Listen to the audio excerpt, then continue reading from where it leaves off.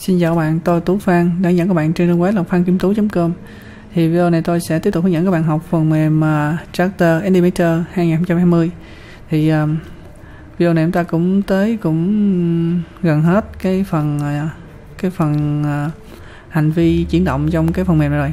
Thì um, càng về sau thì những cái này nó càng hay bạn. Các bạn có thời gian thì bạn có thể tự thêm lên trên mạng á lên trên youtube cho bạn xem thêm những cái video hướng dẫn của những anh chị nước ngoài. Nó nhiều cái hay ho lắm mà chúng ta không có thời gian ta tìm hiểu.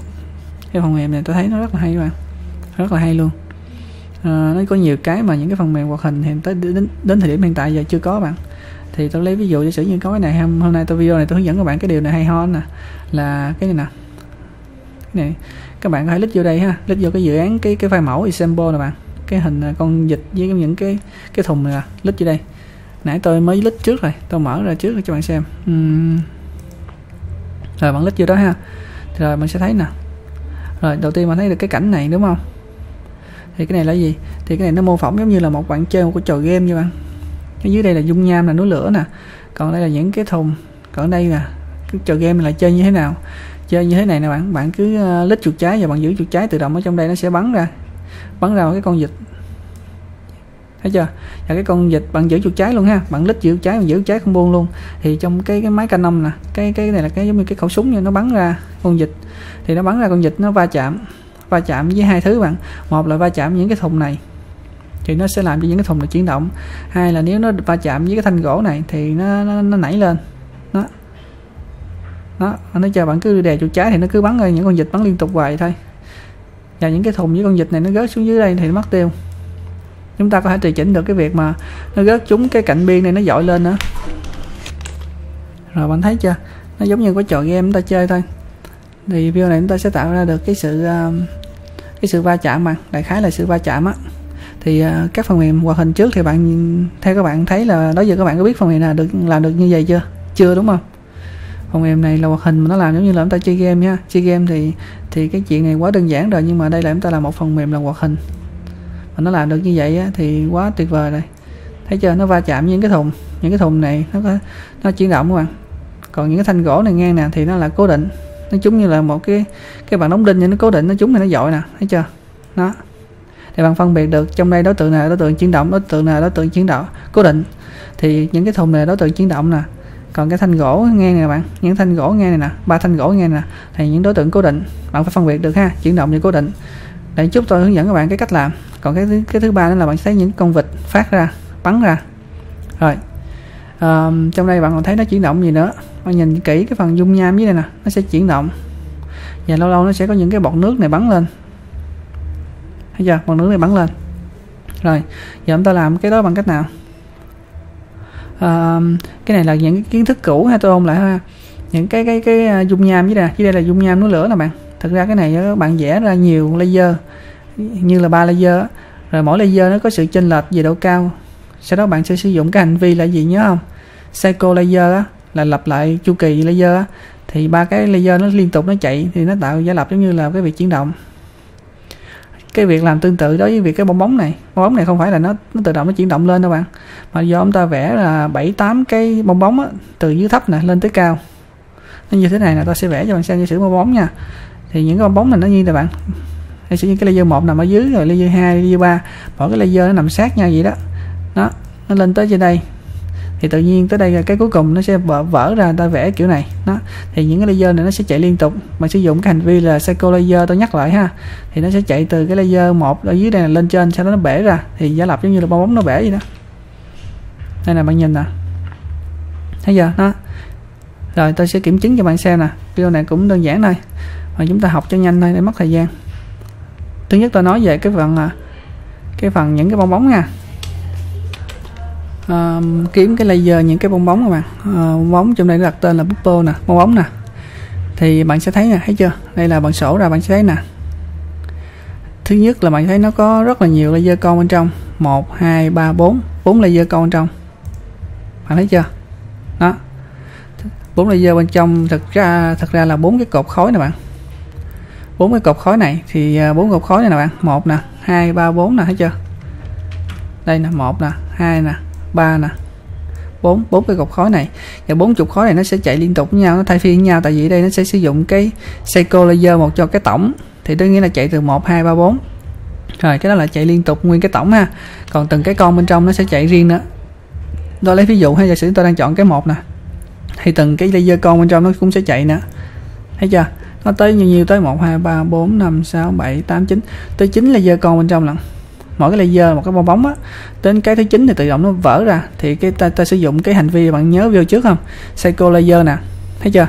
Thì nó sẽ lặp lại từ laser 25 nè tới laser 33 nó nó chạy một hai ba nó chạy gì đó bạn? Chạy chạy chạy chạy chạy cho đến cái cuối cùng.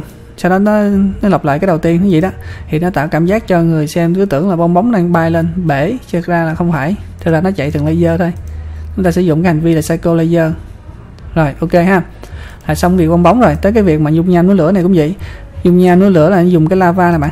Đây cái lava đây. Thì nó cũng sử dụng cycle layer thôi mà trong đây nó sẽ vẽ ra là ba cái layer. Là ba cái địa hình khác nhau thôi. Ba cái dũng nước khác nhau thôi bạn.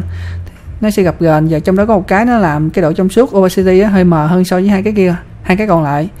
Nó thì nó nó giả lập giống như là cái dung cái núi lửa nó đang uh, gặp gền nè thấy giờ thật ra là nó đang chạy cycle layer lặp lại ba cái layer liên tục. Đơn giản ha tôi giải thích cho bạn rồi bạn thấy nó hiểu dễ hơn hiểu mà quá dễ. Rồi xong được chúng ta hay được cái việc chuyển động bong bóng với cái dung nham rồi. Chúng ta sẽ tới cái phần à, khó nhất trong cái cái cái phần mới trong cái video này là cái việc mà va chạm. Cái va chạm các bạn thì uh, uh, bây giờ sao ta? Tôi chỉ các bạn trong đây cũng được mà giả sử như tôi vẽ một cái file mới đi. Tôi lấy một cái file mới cho các bạn dễ hiểu các bạn tôi lấy một cái file mới nha. À, à, ừ, bây giờ sẽ, sẽ thử cái con vịt nè. Nó thấy chưa? Thì đơn giản thôi bạn nhớ cho tôi ba điều thôi thứ nhất là à, những cái thùng này là nó là chuyển động. Cái thứ hai là cái khúc gỗ là cố định. Cái thứ ba là con vịt là cái cái cái nguồn nó phát ra. Nhớ tôi ba thứ ha. Rồi tôi sẽ lấy một cái ví dụ khác đi để ờ, nói cái này nhiều khi các bạn nhiều thứ mà bạn rối. À, hồi nãy tôi có vẽ một cái file uh, Illustrator. Um, tôi vẽ file Illustrator đâu rồi. Đây. Bạn thấy chưa? Tôi vẽ file Illustrator bạn. Dễ lắm các bạn tự vẽ cũng được. À, tôi vẽ cho bạn thấy nhanh lắm nè. Bạn lấy cái file mẫu mà tôi đã gửi bạn những video trước á. Bạn lấy những cái file đó. Cái file mà tôi vẽ nhìn nhân vật cái file trống các bạn. Sao bạn xóa hết những cái layer đi? Bạn xóa hết đi rồi giả sử tôi quét sẽ xóa khó vậy rồi tôi xóa hết nha bạn. Tôi lấy ví dụ nha. Giả sử như tôi có một cái trái banh nó được bắn ra từ cái gì đó tôi không biết, nhưng mà tôi có trái banh thì nó bắn ra. Rồi tôi vẽ. Sẽ sử tôi vẽ cái trái banh đi rồi. Như thế nào cũng được ha làm ví dụ thôi. Rồi, cái cái trái banh này á, thì nó sẽ bắn đụng tới cái gì? Đụng tới những cái thùng gỗ. Giả sử tôi vẽ những cái thùng gỗ gì bạn tôi ví dụ nha. Ví dụ đơn giản thôi cho nhanh. Rồi, cái thùng này giả sử tôi cho một cái màu khác cho bạn dễ hiểu rồi dễ phân biệt thôi. Uhm, như thế này đi. Rồi sau sẽ nhân bản ra nhiều cái nhân bản nhiều thì bạn giữ phím Alt rồi bạn lôi ra. Bạn lôi nhiều nhiều cái đi bạn để lấy ví dụ cho bạn hiểu thôi chứ số lượng bao nhiêu cũng được bạn không thành vấn đề không quan trọng. Nó để xử như thôi. Rồi tiếp theo tôi sẽ à, vẽ thêm một cái à, cái kệ hay là một cái gì đó cái khúc gỗ cho nó nó như là nó đựng những cái này cái khúc gỗ này tôi sẽ tôi cho cái màu khác để cho bạn à, đừng có lầm tưởng đừng có lộn dễ nhìn nó dễ phân biệt. Tôi cho màu vàng hay gì đi. Màu vàng cũng không có được rõ sẽ tôi cho nó màu đỏ đi. Rồi thấy chưa? Rồi. Ok các bạn? Chỉ đơn giản như thôi không cần nhiều đâu bạn. Um, rồi sao nữa? Um, cái nguyên tắc tôi sẽ làm tiếp theo là tôi sẽ làm cái trái banh này nè. Nó bay tới nó đập vào những cái ô vuông màu cam này làm cho những cái ô vuông màu cam này nó phóng to lên làm cho những cái ô vuông màu cam này á, nó à, nó rớt xuống dưới. Rồi còn cái thanh màu đỏ là cái thanh gỗ nè. Cái thanh gỗ là thanh cố định nha. Chuyển động thì chỉ có màu à, những những cái vô một cam là chuyển động thôi. Và cái vòng tròn này chuyển động thôi. Còn cái thanh màu đỏ là cái thanh gỗ nó giống như là nó được đóng đinh nó cố định. Rồi sau khi làm xong thì tôi nhấn Ctrl S. Sao lại. Rồi sau đó các bạn à, à, vào trong tractor bạn mở lên. Bạn mở lại cái file đó. Bạn nhập vào bạn nhập vào thì những cái những thao tác này quá dễ tôi hướng dẫn bạn những video trước rồi ha. Nhập vào quá dễ rồi. Nhấp vào đây là file nè nhấp import. Nhập vào cái file Illustrator đó là xong. Rồi sau khi nhập xong thì bạn được một cái file này. Chúng ta phải tạo ra một cái bối cảnh nữa một cái cảnh quay nữa. Thì bạn lít vào cái skin nè bạn nhấp vào đây Ctrl N nè new skin. Tạo ra một cái bối cảnh đây. Rồi sau bạn có được hai cái rồi bạn qua bên phần record. Rồi record là mở cái skin một này lên nè. Sau đó bạn lôi cái uh, cái file illustrator ta vừa tạo là lít dưới đây nè bạn lôi xuống dưới đây. Để tạo ra một cái track mới. Nó tới giờ là xong. Tại nãy tôi làm rồi á. Nè bạn lôi xuống đây nè. Lôi từ cái cái file illustrator nè nhập vào lôi xuống đây. Cái track này giống như là bên phần mềm Premiere vậy phần mềm chỉnh sửa video á.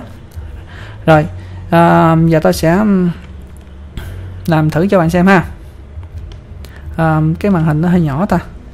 Thì sẽ tôi cho tôi qua bên cái file uh, Illustrator tôi cho những cái này nó lớn lên tí cho bạn cho bạn dễ thấy thôi không gì nó những cái đối tượng này nó hơi nhỏ giả sử tôi chọn nó tôi nhấn phím shift cho nó.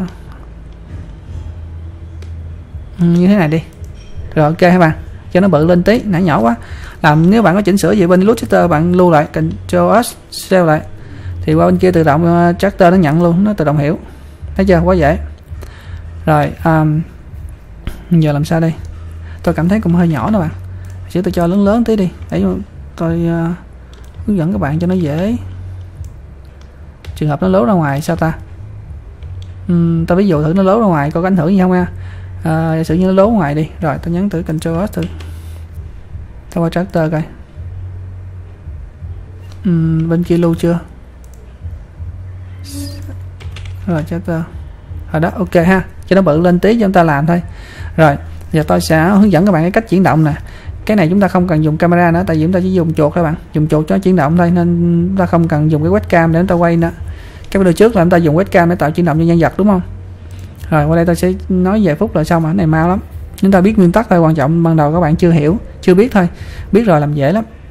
Uhm, thứ nhất bạn chọn cho tôi cái màu đỏ nè. Ờ à cái này nó đang à, bạn thấy một cái lỗi gì chưa? Do bên kia chúng ta không có gắn cái dấu cộng nên nó hiểu là những cái này là những cái laser phụ thuộc liên kết thành một cái laser thống nhất nè. Chỉ một laser thôi. Bạn thấy cái lỗi chưa? Đó nên cái nguyên tắc mà tôi nói những video trước rồi bạn muốn mà uh, những cái laser này nó tách riêng ra qua bên kia thì bạn phải làm sao? Bạn phải thay đổi tên. Nếu bạn để cái tên mặc định như thế này á thì qua bên phần mềm tractor nó sẽ hiểu nó sẽ gộp hết tất cả những laser thành một. Như thế là bị lỗi ha. Và tôi sẽ sửa. Thì bạn đặt tên gì cũng được chứ. Ờ, tùy các bạn thôi miễn có thay đổi tên là được. Là trong trường hợp này tôi làm biến đó tôi tôi đặt số để cho nó mau một hai ba bốn cái gì đó. Tôi ví dụ các bạn hiểu đó các bạn tôi làm ờ, nói chung là hướng dẫn các bạn nên tôi làm nhanh thôi. Chứ các bạn thì đúng ra bạn phải làm từ từ bạn phải đặt tên cho này nọ cho nó đúng nguyên tắc rồi. Cho nó đúng bài bản. Còn tôi thì ờ, à, chú ý cho bạn hiểu thôi vấn đề chính thôi. Ừ, cái này là cái gì? Ờ, à, thành thanh gỗ. Rồi từ 1 tới 9 không nè. Sau đó tôi xưa lưu lại Ctrl S save lại save qua chapter. Rồi. Bên kia lưu xong thì đúng ra bên đây nó sẽ à, tách riêng ra từng cái sẽ chưa tách ra nữa?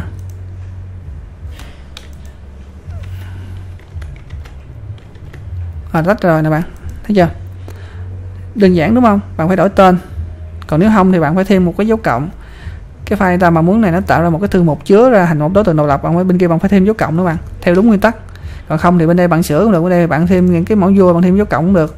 Nhưng mà tôi khuyên các bạn là có làm gì á thì bạn nên chỉnh bên cái file illustrator thì nó nó tốt hơn để sau này bạn dùng vô chuyện khác bạn quên đó.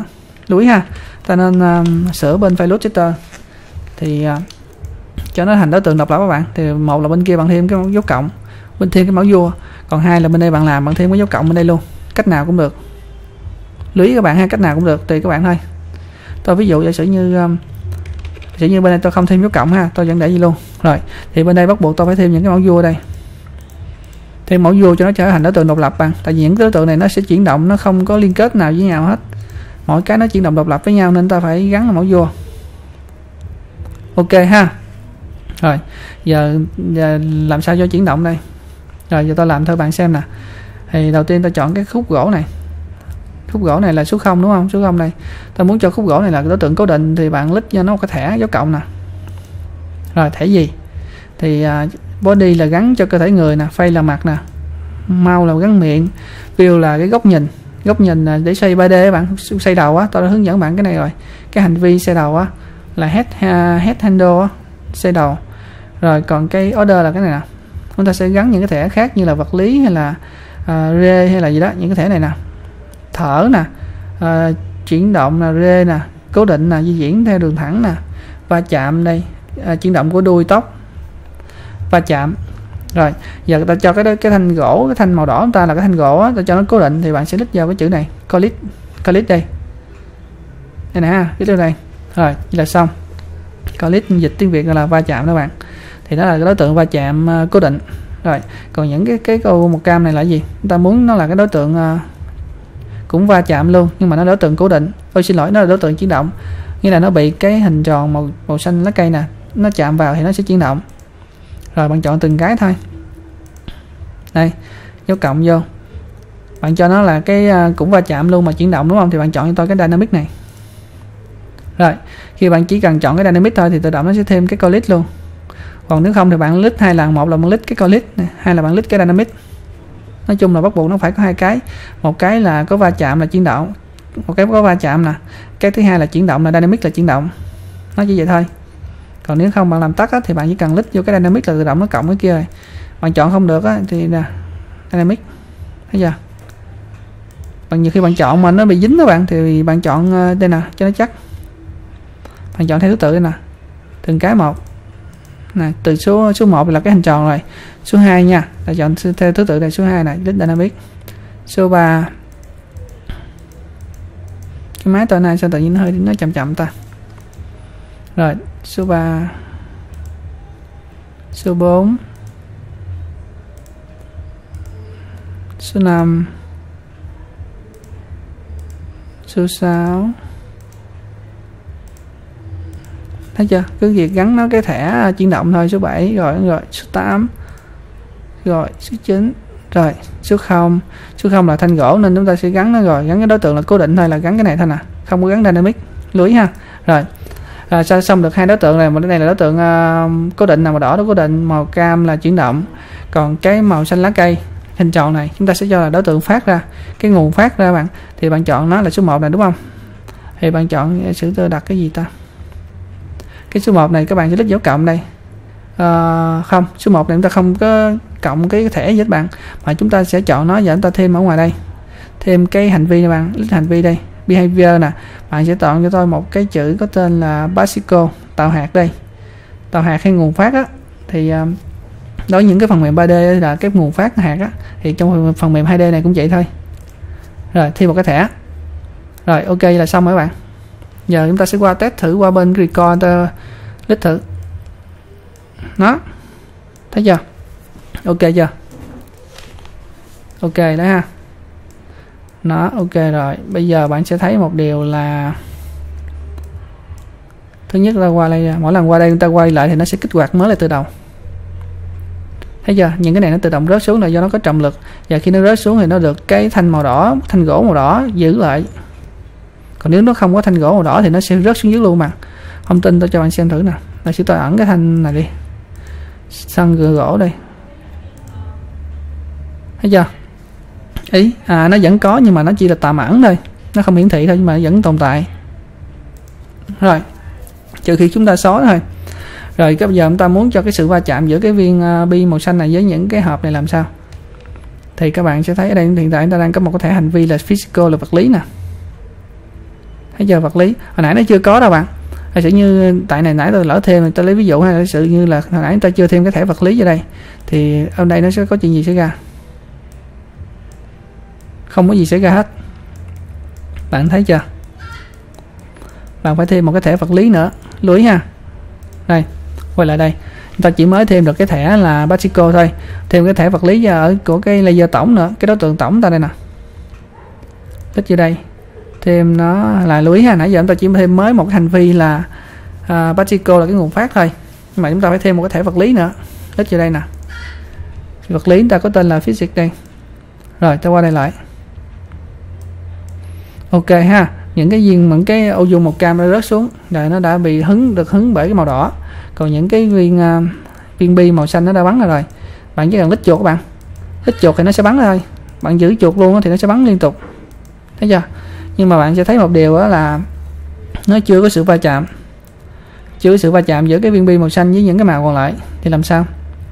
Rồi thì bạn sẽ bắt đầu chúng ta sẽ vào đây phân tích nè. Qua cái phần risk nè thì bạn sẽ kiểm tra lại hiện tại trong cái behavior chúng ta đã có cái gì rồi. Behavior chúng ta nè. Nó đã có được một thẻ duy nhất là thẻ physical là vật lý.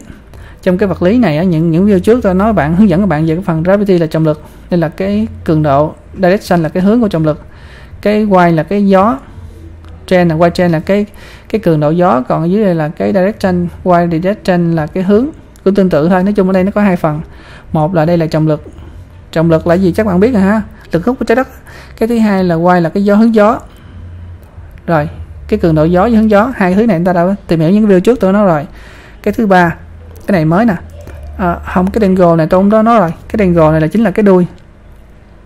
Cái đuôi mà tôi hướng dẫn các bạn mà những cái đối tượng nào chúng ta gắn đuôi hoặc là tóc các bạn. Tóc bạn làm cho tóc đung đưa qua trái qua phải đó. Nhớ không?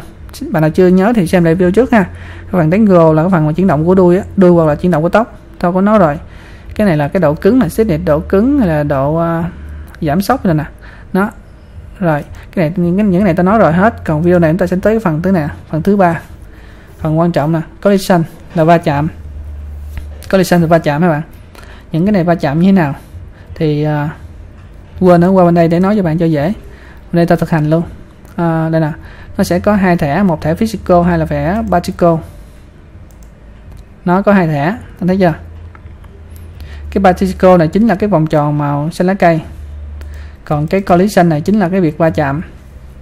Va chạm của những cái thanh màu đỏ thành màu cam nè. Rồi thì tôi nói sơ ra tại này nó dễ lắm bạn. Nói nói lần là biết à thứ nhất là cái star là nó bắt đầu khi nào? Cái chữ immediately này là ngay, ngay lập tức bạn. Như là bắt đầu va chạm ngay lập tức. À, nghĩa là bạn thấy em vừa vừa chuyển qua thì những cái ô vuông này nè màu cam tự động nó sẽ rớt xuống. Trúng cái ờ, thanh gỗ màu đỏ. Nè vừa chuyển qua bạn thấy nè thấy chưa? Là chúng ta sử dụng ngay lập tức. Hay là trong khi chúng ta phải kích kích hoạt. Kích hoạt là bạn nhấn một cái phím tắt nào đó bạn sẽ tự đặt cái phím tắt đó thì bạn chọn cái tùy chọn này. Lưu ý ha là chúng ta chọn uh, ngay lập tức. Hai là cái hình dạng là chính là đường viền. Nó va chạm đụng cái đường viền của cái đối tượng ta là nó đã va chạm rồi. Rồi cái này những cái này là trọng lượng của nó 100 không có gì hết bạn cứ để mặc định đi. Trọng lực á trọng lượng thôi cái gì friction nghĩa là cái mà lực ma sát nghĩa là hai đối tượng nó trượt nhau thì bạn muốn chỉnh nếu mà bạn muốn mà nó trượt mạnh á, giống như mà chúng ta trượt băng thì bạn tăng cái này lên. Ô xin giảm này xuống. Còn bạn muốn mà nó ma sát mạnh thì bạn tăng này lên. Cái lực bao là cái lực dội. Ha dội như là bạn cầm trái banh tennis rồi bạn ném vô tường những dội lại. Thì bạn muốn cái lực dội mạnh á, thì bạn tăng này lên. Còn bạn muốn giảm nó dội ít thì bạn kéo giảm xuống. Rồi những cái này rất là dễ ha. Tiếp tục. Còn cái này là cái phần cạnh thôi. Cạnh va chạm các bạn. À, có nghĩa là khi bạn những cái đối tượng này nó rớt xuống cái phần cạnh. Phần cạnh của cái màn hình chúng ta nè thì nó sẽ bị dội lại. Bây giờ những cái cạnh của cái màn hình ta nè, cái cạnh này nè. Thì nó sẽ bị dội lại bạn. Chứ nó không mất tiêu. Lưu ý là khi ta đang dấu check nha. Còn nếu bạn bỏ dấu check này đi thì tự động nó sẽ rớt xuống đây, mất tiêu luôn. Giống như rớt xuống cái hố vậy. Chút tôi làm thử cho bạn xem chỗ này. Rồi, còn cái return stand là giống như là dội lại bạn. Dội cái cái cường độ lại, không có gì. Rồi, nên chúng ta tìm hiểu hết những cái thẻ vật lý trong physics này rồi ha. Những cái này là những cái phần hay không à. Rồi, còn tiếp tục tới cái phần particle là cái phần à, cái phần hạt. Cái phần hạt nè. Là chúng ta sẽ chỉnh cái hạt này, hạt màu xanh lá cây này nó bắn rồi nè. Đó. Thì sử như ta cho nó ở đâu đi bạn. Ở đây thì nó hơi ở đây thì nó hơi đâu tiêu rồi. 80 đúng không? Tôi cho nó khoảng 50 thôi.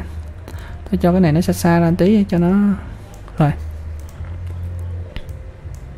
Rồi hiện tại nó chưa có va chạm nè, giờ ta sẽ chỉ chỉnh cho nó va chạm là những cái hạt màu, những cái hạt bi màu xanh nè. Tạm ẩn cái này đi. Rồi particle đây. Thì à, nó sẽ có nhiều cái kiểu phát hạt các bạn. Mặc định nó đang ở cái này, ball and shot nghĩa là bắn ra. Chọn snow là dạng tuyết nè bạn. Như bạn à, tự động từ trên nó rớt xuống dị hoại đó bạn. Nó chưa? Từ trên nó tự động nó rớt xuống dị hoại, do có chưa có sự va chạm. Thì bạn muốn có sự va chạm thì bạn lít vô đây nè bạn. Lít vô cái dòng này nè. Cái chỗ này quan trọng nè ha. Tôi phải phóng to cho bạn xem đây bạn sẽ lít cho tôi cái dòng này.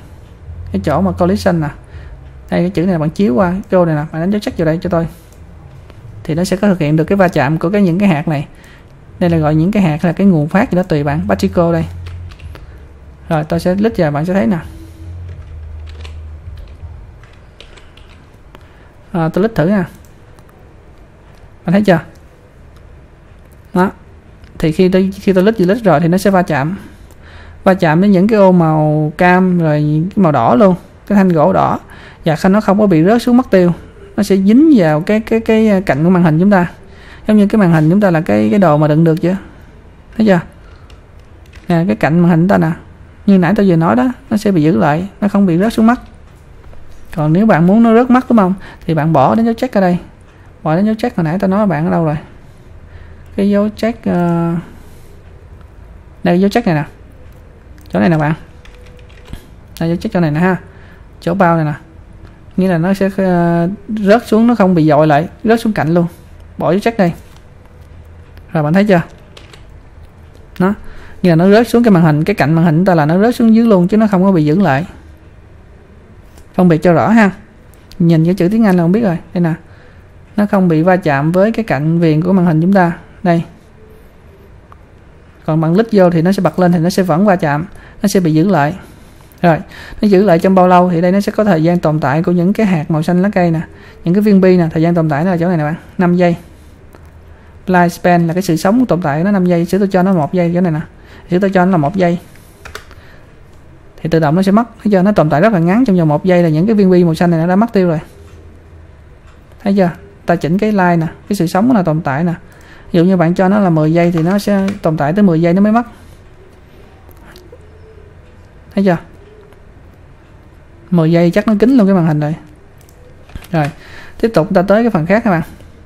À, chúng ta tới cái qua cây cảnh này đi quay lại cho nó đỡ mất thời gian. Đó. Nãy chúng ta đang chọn cái kiểu rớt là kiểu snow là dạng tuyết. Còn kiểu thứ hai là kiểu pon shot nè. Kiểu này nghĩa là nó phụ thuộc vô cái điểm mà người ta bắn. Bạn lít chuột ở đâu thì nó sẽ bắn ở đó bạn lít từng cái thì nó bắn từng à, từng viên một, còn bạn giữ chuột luôn thì nó bắn liên tục. Rồi, cái tùy chọn thứ ba là gì? Canon. Canon thì là gì? Canon này là bạn lít ở đâu thì tự động nó sẽ bắn. Nó bắn hướng xuống các bạn. Nó bắn hướng xuống theo trọng lực á. Cái thằng canon này nè. Rồi, cái thứ tư là cái chắc mau này đó nghĩa là giống như là mưa đó. Bạn lít tới đâu thì mưa nó rớt tới đó. Thấy chưa? Khi tôi lít chiều trái tôi rê luôn nè thấy chưa? Nó giống như là mưa rớt từ trên xuống như bạn lít tới đâu thì sẽ rớt xuống một hạt. Còn bạn giữ chuột bạn rê luôn thì nó rớt, rớt liên tục. Rồi cái cường độ rớt là nó nhiều hay là ít thì tùy thuộc vào đâu? Tùy thuộc vô bạn chỉnh đây nè bạn. Đây chỗ này đây. Những cái chỗ này nó nó hơi nhỏ nó hơi mờ. Đây nè cái um, cái số lượng nè bạn. Này sẵn tôi nói lượt luôn ha. Chữ nó hơi nhỏ nên sẵn tôi nói chữ tiếng Anh luôn để cho bạn hiểu luôn. Um, cái này là chế độ bắn nè mod là chế độ bắn rồi cái này là cái cách bắn là người ta dùng chuột hoặc là sử dụng bàn phím để kích hoạt cái việc bắn những hạt này ra. Rồi còn đây là à, trong một giây thì nó bắn bao nhiêu hạt thì bạn chỉnh cái số lượng nhiều ít chỉnh đây nè 10 thấy chưa? Như là bạn muốn số hạt nó bắn ra nhiều ít thì bạn chỉnh ở đây như vậy thôi. Ở đây là cái vận tốc bắn ra nhanh hay chậm là chỉnh đây. Random là nó nó sẽ là ngẫu nhiên. Như là cái cái cái vận tốc bắn là ngẫu nhiên các bạn khi lên trên thì lên xuống dưới rồi cái lifespan chính là thời gian tồn tại là 5 giây nghĩa là thời gian tồn tại của những cái hạt màu xanh đó, đó là lâu hay là ít à, dài hay là ngắn á. Nghĩa là 5 giây thì nó, nó nó tồn tại 5 giây hoặc là bạn chỉnh một giây thì nó nó nó mới rớt xuống một giây là nó biến mất tiêu rồi. Collect là nãy tôi nói rồi collect là va chạm bạn lít vào thì nó mới va chạm những đối tượng khác. Rồi scale là nó sẽ phóng lớn ra cái này ta có thể đặt khóa cây nghĩa là đặt khóa cây cho nó bắn tới thời điểm nào tự động nó phóng lớn ra và thu nhỏ lại biến mất tiêu luôn. Bạn chỉnh cái scale này đặt khóa cây đây opacity là độ trong suốt cũng vậy luôn. Rồi cái này bạn cho nó chớp tắt flicker là nó sẽ chớp tắt. Còn cái này nó sẽ là bắn ra là từ từ nó sẽ mờ dần rồi biến mất luôn. Đó ta nói một lượt hết những cái tiếng Anh này luôn. Tại cái chỗ này màn hình nó nhỏ nên tôi nói một lượt luôn. Cái đầu tôi mới mới thu nhỏ lại tôi nói các bạn cho bạn dễ hiểu. Rồi ta tới đâu rồi? Giờ tôi sẽ cho các bạn tiếp tục tới uh, cái việc bắn nhiều ít ha. Nè hiện tại đang bắn rất nhiều nè. Đó ta sẽ chỉnh uh, số 10 ha. Bạn sẽ chỉnh lên uh, 30 40 rồi chỉnh lên 40 thì bạn thấy nó bắn rất là nhiều luôn. Thấy chưa? Rồi bạn muốn nó bắn ít số lượng mà tần suất nó bắn ít lại thì bạn chỉnh này thôi. Hay sử tôi cho là một thôi hai thôi. Thấy chưa? Nó bắn rất là chậm. Từ từ từng hạt thôi. Nó đây là cái tần suất nó bắn ra trong một giây. Rồi vận tốc gì? Vận tốc nó đang nhanh hay chậm thì bạn chỉnh ở đây. Hiện tại đang là 1,5 nè. Ta sử tôi cho 1.500 hay gì đó. Ta cho là 3.000 rồi bạn coi nó bắn rất là nhanh nè thấy chưa? Những hạt này nó bắn vận tốc rất là nhanh.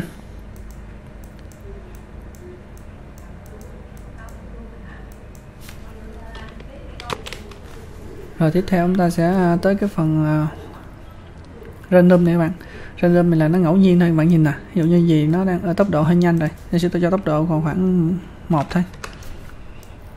Ý, một thì nó hai. Ý, sao nó đứng yên chỗ ta? À, chắc nó bị nó nó yếu quá nó thua trọng lực các bạn. Bình thường nó tới 10 lần. Ấy là do chúng ta chọn cái chế độ uh, chế độ bình thường mà. Để ta kiểm tra lại coi. Rồi bạn uh, quay lại cái phần uh, cái phần random này bạn. Nó đang hiện tại đang bắn gì ha? Thì bạn nhìn cái cái cái đường của nó bắn á. Một cái đường như này. Khi chúng ta chỉnh cái random này thì nó là cái đường ngẫu nhiên mà nó sẽ có sự lệch lên, sẽ xuống, nó không đều. Sẽ tôi cho cái random là cho nhiều nhiều để bạn lên 20 đi. Thấy chưa? Những cái đường này nó phát ra nó không đều. Chỉ đơn giản vậy thôi. Và cái này là cái độ sắn này nè. Thấy chưa? Những cái hạt bạn nhìn nó phát ra nè, nó không có đều. Cái cho xích lên, cái xích xuống. Bạn nhìn kỹ ha, giả sử tôi cho bạn cái vận tốc cho nó mạnh tới cái cái vận tốc tôi cho mạnh tới cho ba đi. Ờ xin lỗi, cái này là người ta phải là ba ngàn bạn. Do nãy tôi nhắn lộn. Lưu ý ha. Ba ngàn chứ không phải là ba. Bạn chi nó đứng yên chỗ phải rồi. Bạn thấy chưa? Đó. Mặc định của nó là ngàn mốt các bạn. Ngàn, một ngàn năm trăm. Ngàn năm trăm pixel trên giây đó. Thì nói chung bạn chỉnh cái random này là nó ngẫu nhiên các bạn. Nó sẽ không có đều. Cái phát ra nó không đều, nó sẽ là cái lên, cái xuống. Cái vị trí các bạn. Rồi cái random nè. Rồi cái lifespan là cái thời gian tồn tại thôi. 5 giây thì nó sẽ tồn tại đúng 5 giây nó mới mất là 5 giây mới mất nè. Nói chờ mất từ từ 5 giây. Đó bạn bạn muốn cho nó một giây hai giây nó mất thì nó sẽ ra trong vòng hai giây nó sẽ mất nè. Thấy giờ hai giây nó mất tiêu. Cái vòng đời nó thôi. Còn collision là va chạm rồi scale là cái tỷ lệ nè. Cái này bạn đặt khóa cây được nè bạn. Thì sẽ cho bạn cho nó bắn rồi nó nhỏ lại và lớn lên đó bạn đặt khóa cây. Opacity cũng vậy. À, còn cái này là nó mờ dần và biến mất các bạn thì chọn này bạn. Thì chọn phép opacity là biến đổi cái chỗ trong suốt. Như là ban đầu rõ mà khi hồi để nó kết thúc thì nó sẽ bị mờ dần. Cái thời gian tồn tại của nó bạn. Nó gần hết thời gian tồn tại thì nó sẽ mờ dần và nó biến mất. Bạn thấy chưa? Phép opacity này phép opacity. Còn cái này là cái chớp tắt bạn. Flicker opacity này, chớp tắt. Bạn thấy chưa? Nó sẽ chớp tắt. Nó vậy thôi. Rồi, cơ bản là xong ha sau khi bạn xem trong cái video này các bạn nhìn nè. Uhm, sẵn đây tôi nói luôn nè những cái này á thì à, uh, tôi sẽ qua đây lại đi.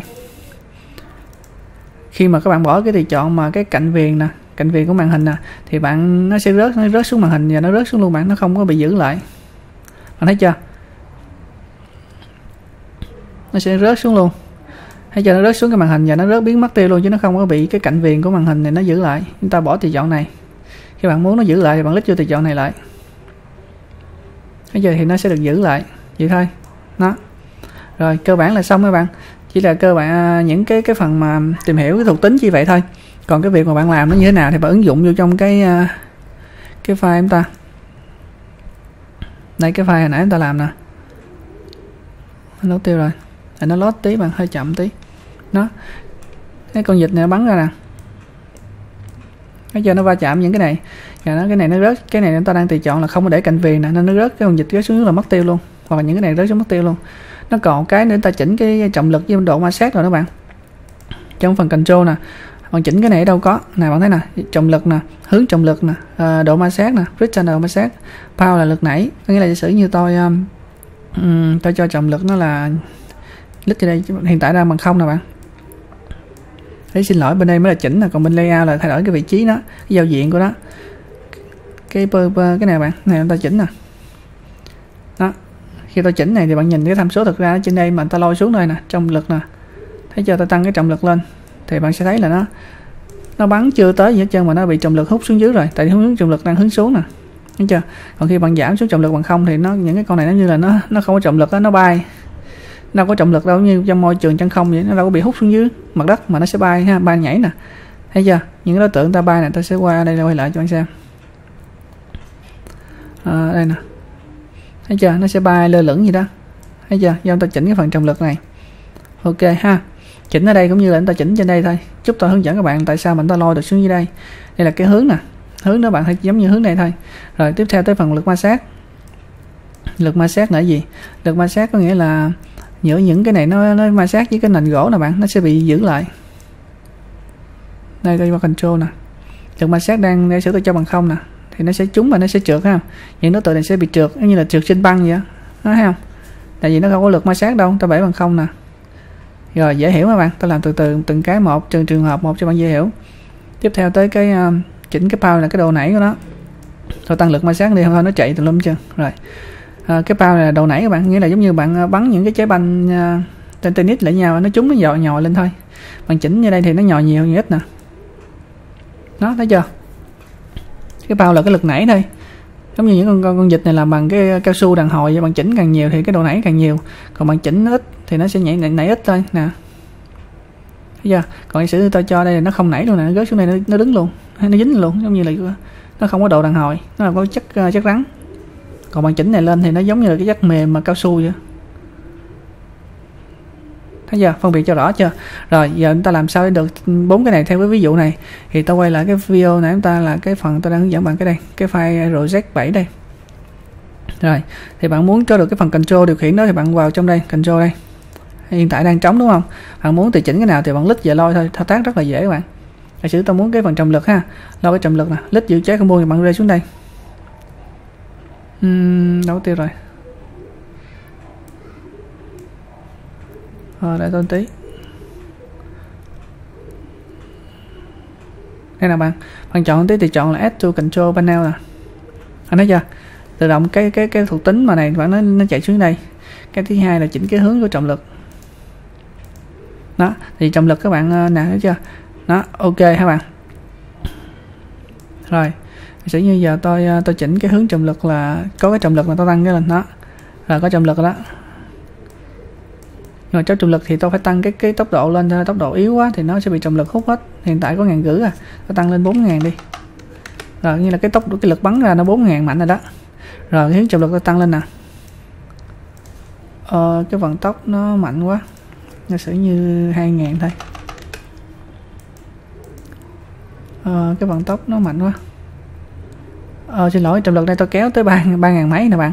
Bạn thấy tại sao vậy? Thì chúng ta phải chỉnh cái giới hạn nó lại bạn hiện tại cái cái tôi trượt như thế này mà nó tới ba ngàn mấy này quá quá trời lớn rồi. Mặc định nó chỉ có 10 thôi. Bạn thấy chưa? Thì các bạn muốn chỉnh cái phần giới hạn của hai tham số này thì bạn qua bên cái phần layout đây. Bạn chỉnh lại. Cái mặc định nó đang ở cái giới hạn từ không nè cho tới 900 thì quá lớn rồi. Trầm lực chúng ta nhỏ thôi chúng ta chỉnh từ khoảng không cho tới um, tới 100 thôi. Ta đặt cái giới hạn lại bạn thấy chưa? Thì nó sẽ trượt từ không tới 100 thôi là được rồi. Đó chứ không thôi nãy nó để giới hạn từ không tới tới 90 lần đây nè từ không tới 900 lần. Rất là nặng rất là số rất là lớn mà chúng ta đâu cần chỉnh trọng lực tới số lớn như đâu. Số 100 ta cảm thấy còn lớn nè. Thật ra cái số này ta qua layout ta chỉnh lại cái số mà giới hạn là chỉ số trên số dưới bạn. Chỉ số dưới bằng không rồi chỉ số trên là cái phần mà tối đa thì cho cho khoảng chừng à, năm chục hay gì thôi hoặc là bảy chục hay gì đây ít thôi. Rồi nó khi bạn trượt á, thì nó sẽ dao động cái số nhỏ nhất là không số lớn nhất là năm chục. Thấy chưa? Hiểu chưa? Bạn hiểu vấn đề ha? Tương tự vậy. Cái hướng này thì bạn hãy là chỉnh hướng trong cái ờ, này bạn chỉnh hướng này, hoặc là bạn chỉnh cho nó cái góc xây bao nhiêu độ thì bạn qua bên layout này bạn chỉnh lại. Thấy chưa? Dễ ha? Rồi góc xây này à, hướng này giả sử tôi cho xây từ à, trừ 50 cho đến 50 tới đến à, 50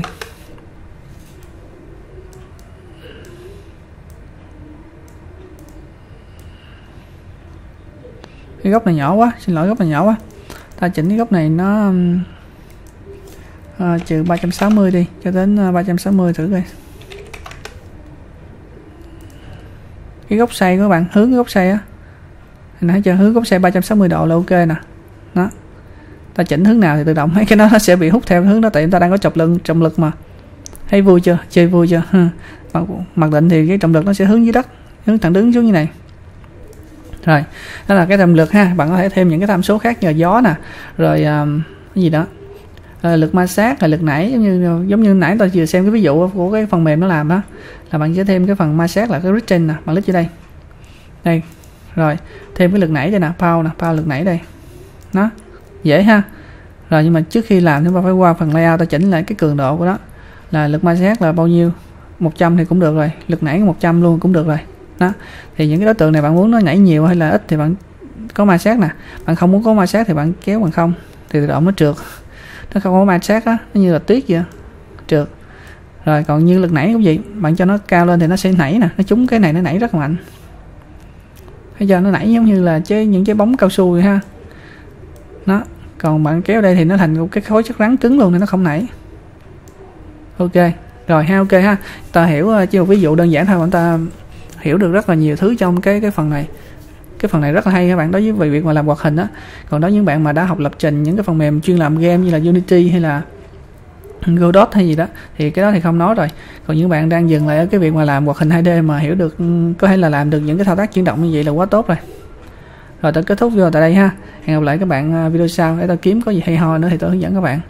Thời tôi là tú phan đang dẫn các bạn trên trang web là phan kim tú com. Hẹn gặp lại các bạn.